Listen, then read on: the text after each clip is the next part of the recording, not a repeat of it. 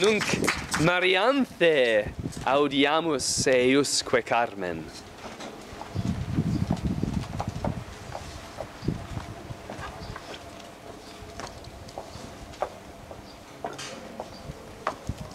Prosit. Um, the first set of lines I'm going to read is a couple of hexameters based on our visit to Mozia.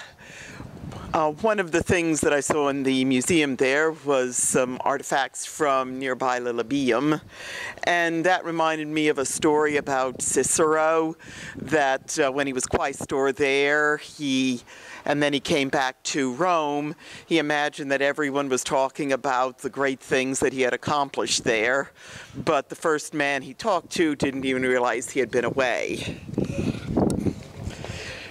Tum venet a terra salis insuls omnia sperens laudari cicero.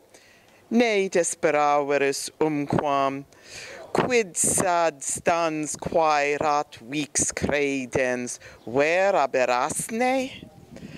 Semper egad mirorte, fervida docta, per aulam thesauri quem tu lilibae non rapuisti spectores lautas ec ante pedes positae sunt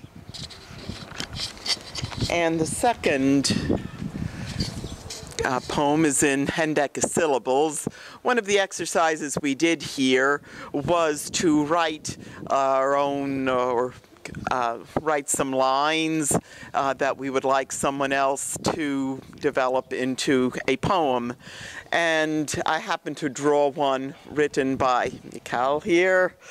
And uh, the story was to be about a group of boys playing ball, and uh, then one of them breaks a nearby window.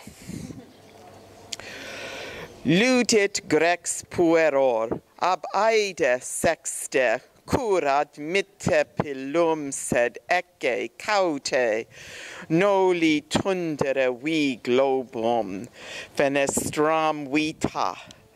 Ne facias anilis iram. Ludamus socii sed heu in anis sextus mittitit altius fragorem audiunt pueri Mali analis jurgitatque sed obstrepems et acris. Hic sextus sociique ab aide longe.